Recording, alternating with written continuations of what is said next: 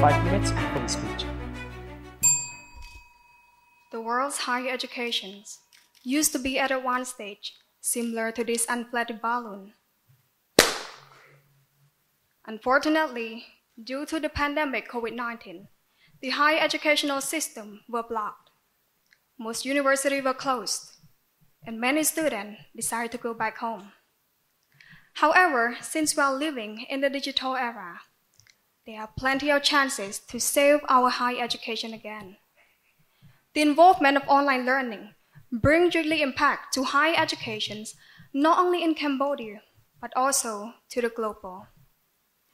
My respects to Your Excellency Presidents, BELTEI IU management team, honorable judges, all participants, ladies and gentlemen, good afternoon. My name is Chhorn Thida, a senior student from the Faculty of International Relations. I am truly honored to stand here giving a speech on the topic of what are advantages and disadvantages of online learning in higher education. Did you know, according to Oxford Research Encyclopedia, online learning is defined as a form of education that accommodates learners' individual needs through the internet whereas higher education refers to learning that occurs at university based on data government UK. These two key terms are enough to fulfill the meaning of the above topic. In just blinking of an eye, everything has drastically changed, from physical class to online class. And it can't be denied that the online learning in higher education has its own set of pros and cons. The online learning is believed to be the catalyst of higher education success for three advantages. Initially, it offers beneficial platform. In today's digital era, online learning enables students to reach out new frontier.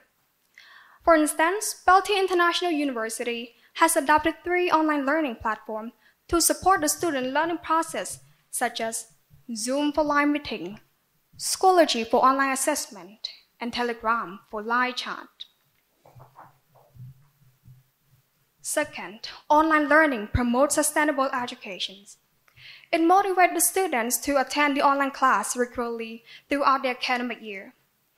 And it also proves that no matter where education takes place, online learning will help engage students, faculty, and lecturer for learning, collaborations, and administrations.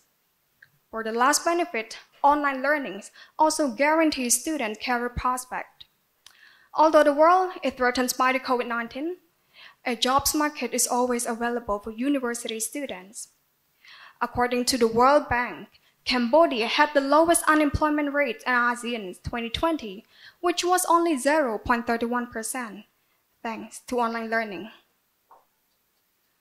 Although online learning is considered as a diamond in some people's eye, Yet it brings two drawbacks. First, it is a threat to rural students as dropout. Due to challenges of using online learning platform, most of rural students will resist to adapt to new norms of education.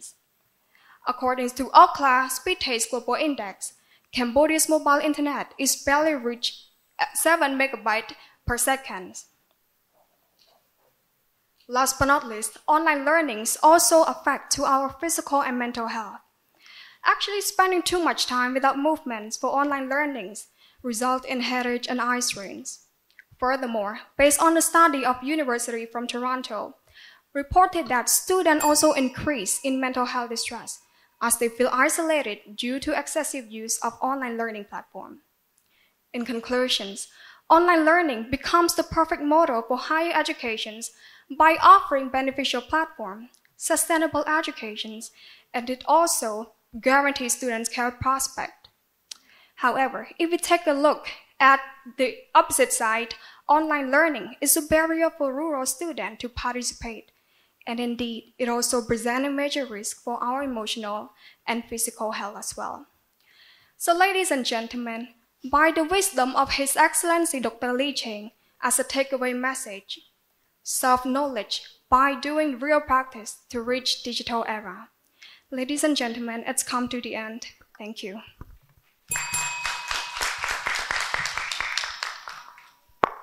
Thank you for your speech. You have two minutes for questions from the judges. my highest respect to His Excellency President, members of the organizing committee, and our beloved contestant Chhorn Thida. My question for you is, what suggestions do you have to the management and the lecturers of BELTEI International University in improving the quality of online learning and teaching? Thank you. Thank you, sir, for your questions. Well, it is an undeniable fact that um, since the world grappled by the COVID-19, we need to adapt and adapt ourselves real quick to the online educations, which also affect to most of students studying progress as well. So um, for the management teams and also lecturer, try to keep in touch. And I do believe that um, we need to train the students on how to use online learning effectively and wisely as well. So more than that, I also believe that practice makes perfect. So the more you practice, the more you get it. The student requires more practice in order to adapt themselves um, with online learning effectively. Thank you. Thank you. Hello. Hello. My greatest respect to His Excellency President, members of the organizing committee, and our beloved contestant, Ms. Chon Tira. I have one question for you, and that is between online learning and on campus learning, which method do you personally prefer? Yeah, thank you, sir, for your questions. Actually, I consider this as a tough decision for me to choose between online learning and physical learning. Um, since the world grappled by the COVID-19 and during this global crisis, online learning is the best choice for all, especially for higher education students, as it allows students to continue learning despite the pandemic. Um, however, I believe that um, online learning cannot be the replacement for um, traditional classroom learning since we need, um, thank you. Thank you, Ms. Chhorn Thida.